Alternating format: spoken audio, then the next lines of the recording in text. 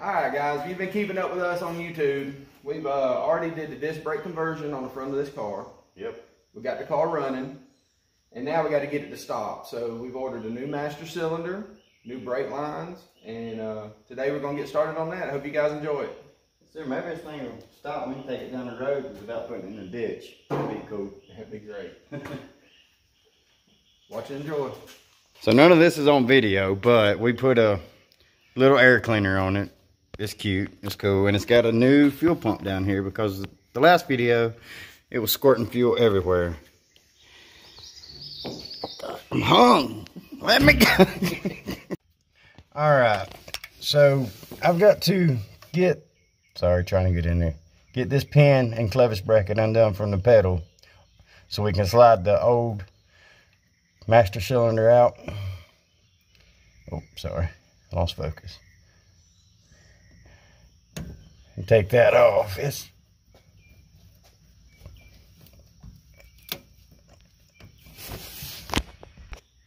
All right, so next we're gonna start with this old master cylinder, trying to get it off this car. Get it with a little bit of PB Blaster here, make might make it a little easier for us.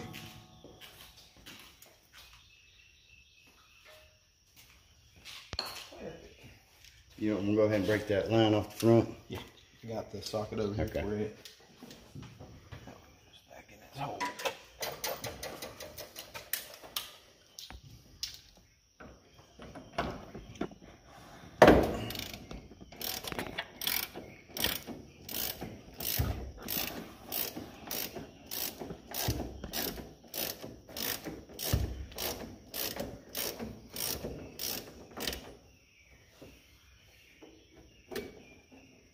I believe when we put the new one on there, we're gonna have to relo- relocate the oil filter. chances are it's not gonna all fit there. Right. Cause I ordered a uh, eight inch dual diaphragm brake booster master cylinder kit with a proportioning valve.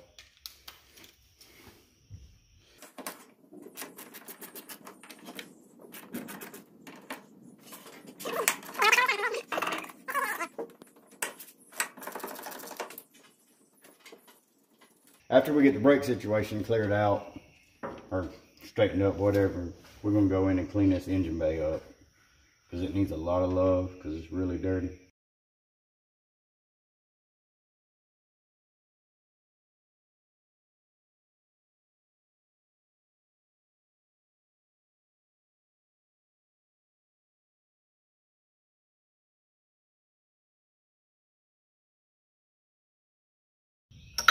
This thing should slide out of the way.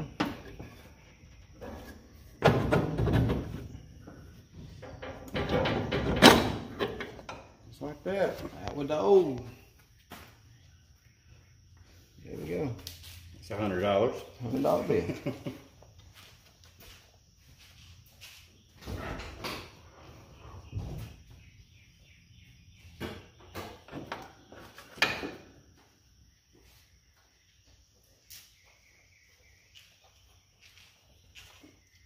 There's the old rod that was in there. The clevis bracket. Well, let's find some new parts. All right, so here's our little kit we ordered for the brake booster, the master cylinder. All that's gonna go in here. All right, guys, we're running to the first issue today. It was an anticipated issue though. It was. It was. The uh, this is an oil filter up here on the side of the engine. Uh, it was a dealer add-on option. I don't know how much it was. I don't remember. We looked it up one time.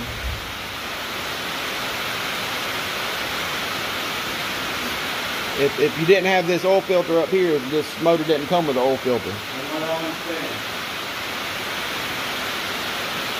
So we got to move it out of the way so we can get the brake booster installed. And it decided to rain, and it's very loud in the shop. Yeah. So sorry for the shitty audio quality.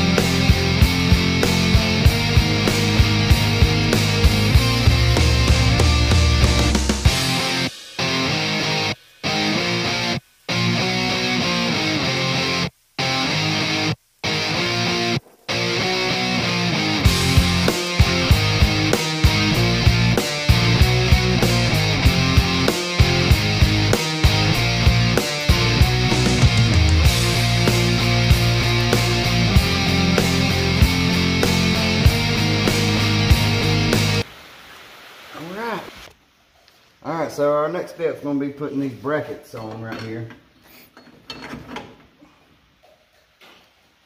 That holds the brake booster.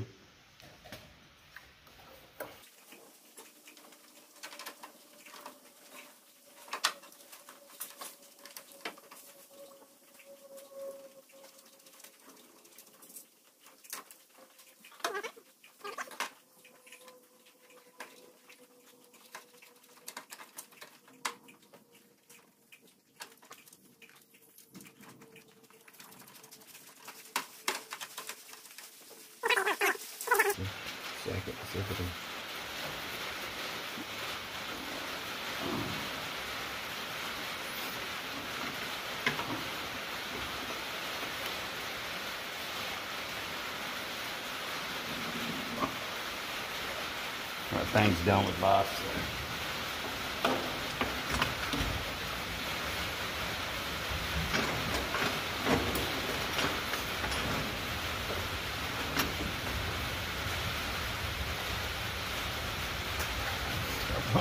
Yeah, it's gonna come way on out, but What's that up, I guess?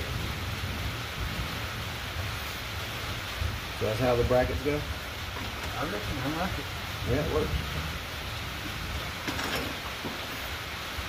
Does it-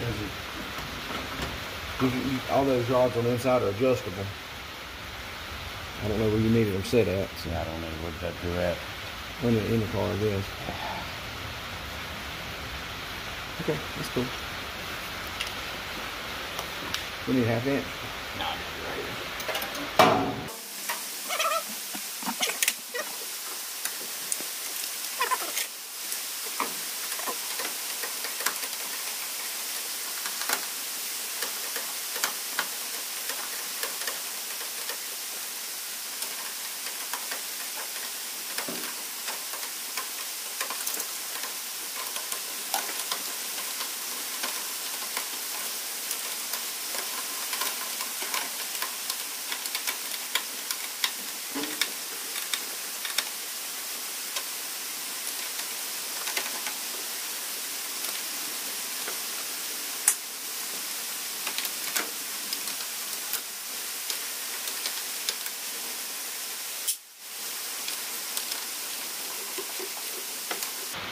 tighten anything up, let's slide it on again and see what's going on. You gotta get it. Not it. I'm gonna get in the inside and set the clevis bracket up to the pedal. I'm just gonna hold it Then to the I'll drive that thing in there. Here we go.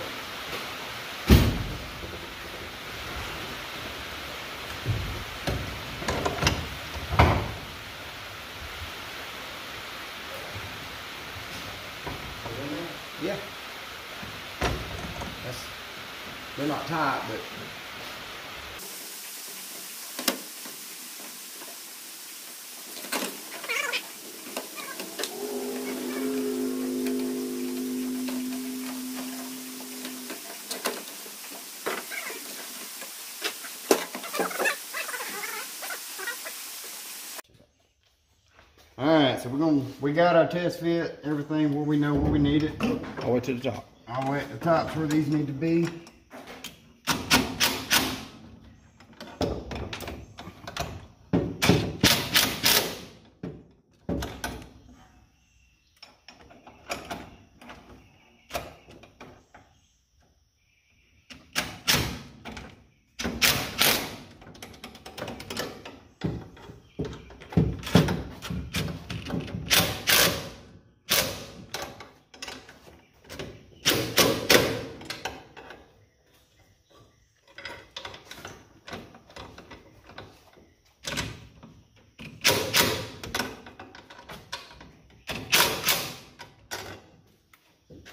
All right.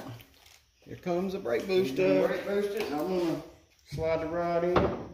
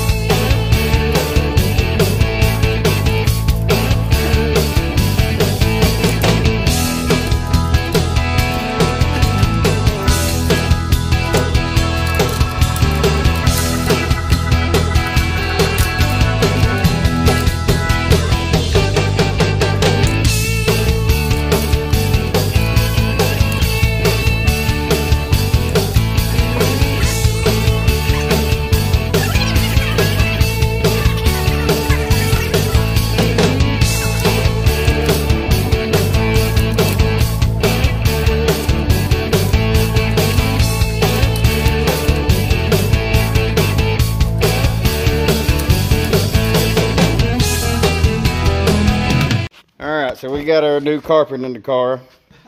No, that's just the rug. Let's see, cut the light on. Got our new rod connected for the master cylinder. Or actually brake booster. So now let's head back up front and do it again. All right, so now we're gonna slap the master cylinder on there. This be it right here. You gotta put this piece in there, I think. Right here. Yep. I put our rod. Extendo. Slide it right there. Bam. And this sort of go on here. Looks like it's made for it. We used to have room to work on this thing. Not anymore. It's got all the brakes.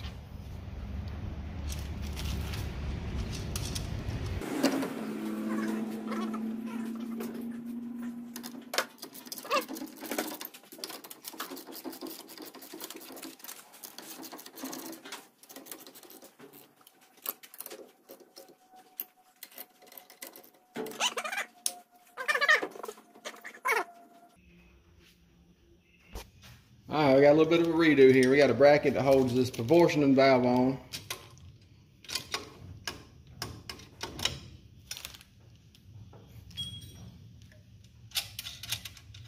Put that back off. Just that on.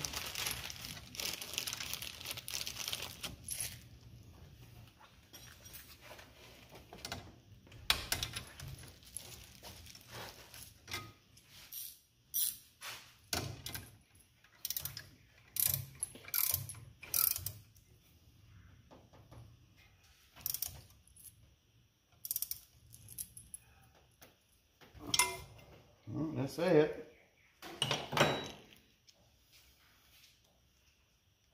There's your proportioning valve. Those are your proportioning valve. Proportioning. Proportioned.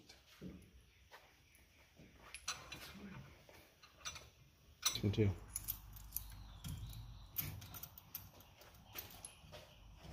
Hey, it looks good. Here you go. Here's your bolt.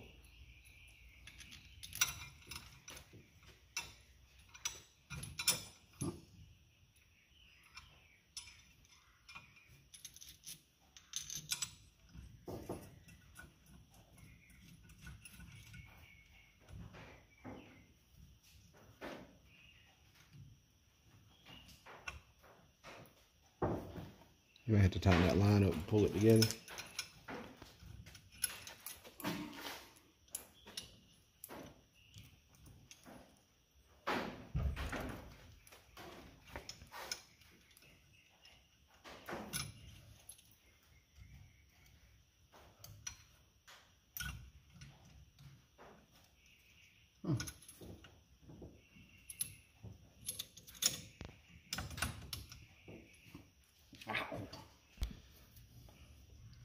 All right, well, we got our lines. Got our proportion valve, got it started. Get these tight right here.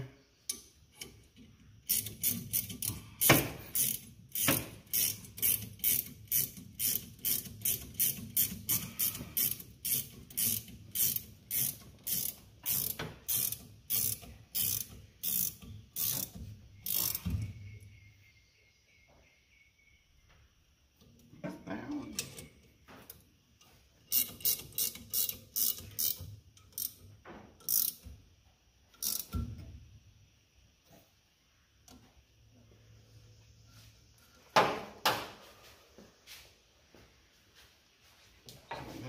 Sixteenths. That was that one. Uh, seven sixteenths. I'm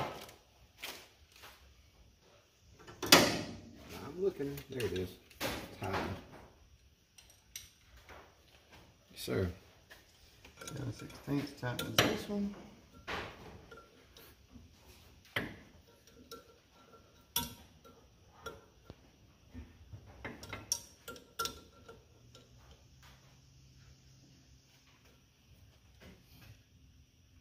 There's two plugs for the back of it. I guess your lines run out your proportion valve.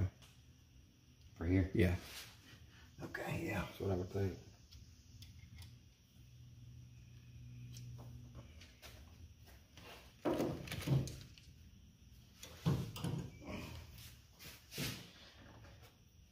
Big one, this is a little one.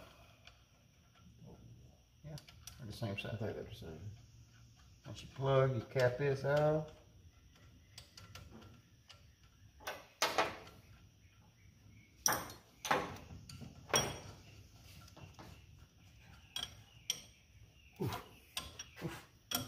Bigger than that one. Bigger than that. Is it five eighths in there?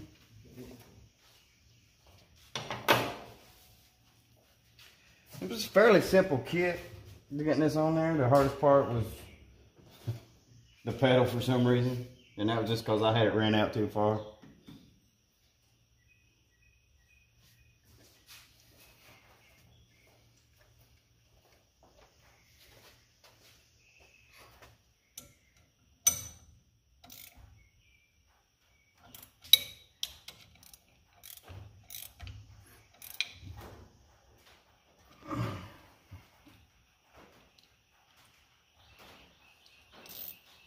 All right, well, let's see what's left. A uh, airline and a like a vacuum line. the sensor. Yeah, you're doing perfect. then we have a vacuum line that'll run from here. Probably put it on a T because we still need that up to here. perfect.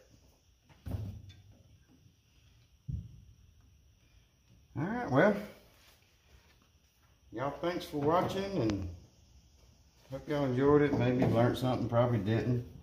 but we're gonna call this video done for today. And we'll be back on the next one with, uh, we're gonna install the brake lines and everything Yes, and make this thing stop finally. Maybe take it down the road. But y'all like and subscribe. Thank you.